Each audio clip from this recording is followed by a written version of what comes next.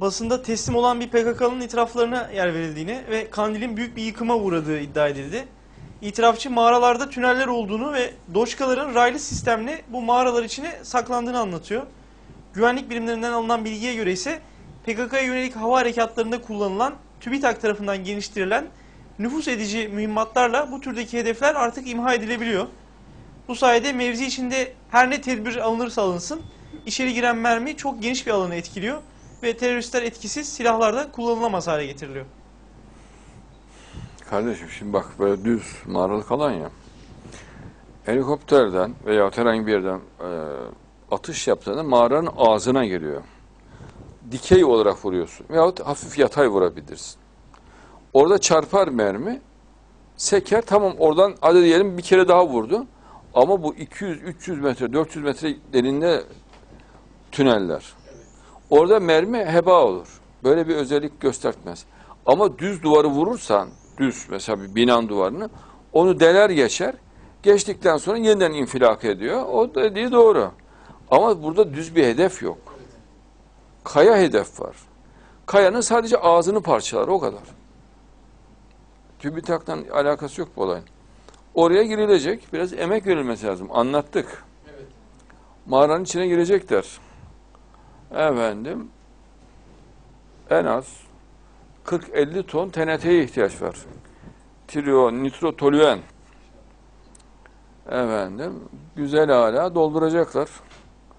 İstiyorlarsa amonyum nitrat, amonyum sülfat gübresi de 10-15 ton da ondan korlar üstüne. Daha renkli olmasını istiyorlarsa. Sonra duvarla kapatılacak o. Yani emek verecek o. Biraz uğraştırır. Yani birkaç aylık işleri var. Duvarla, beton duvarla kapat. Çok kalın mesela 5 metre, 4 metre kalın duvar yapılacak.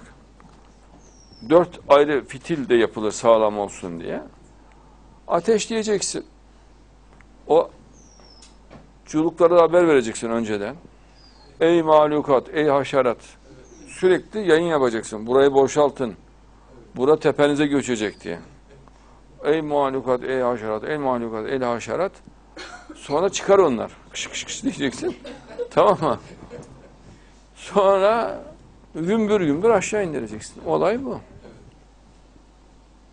Bir daha da oraya giremezler.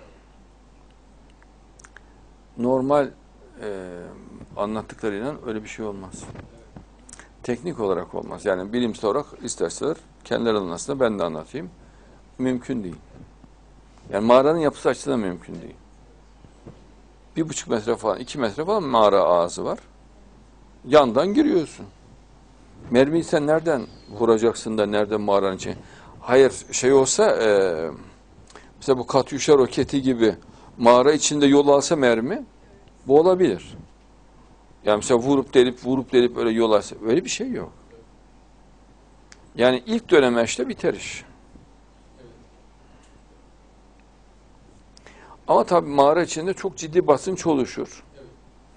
Yani eğer şey değilse yani bir açıklık hava alma yeri falan yoksa başka bir yere geçme imkanları yoksa o basınç tabii öldürücü etki yapabilir. Yani mağara ağzındaki bir infilak e, içeride de çok yüksek basınç meydana getirebilir. Ama mağaralar çok uzun. Derinliği çok uzun iki ağızlı genellikle. Başka yerler açılıyor. E bir de o patlamadan önce söylenmesi lazım boşaltın diye. Yani benim stilimde öyle bir şey yok. Yani adamların öldürülmesi değil, caydırılıp kaçırılması düşüncesi var bende.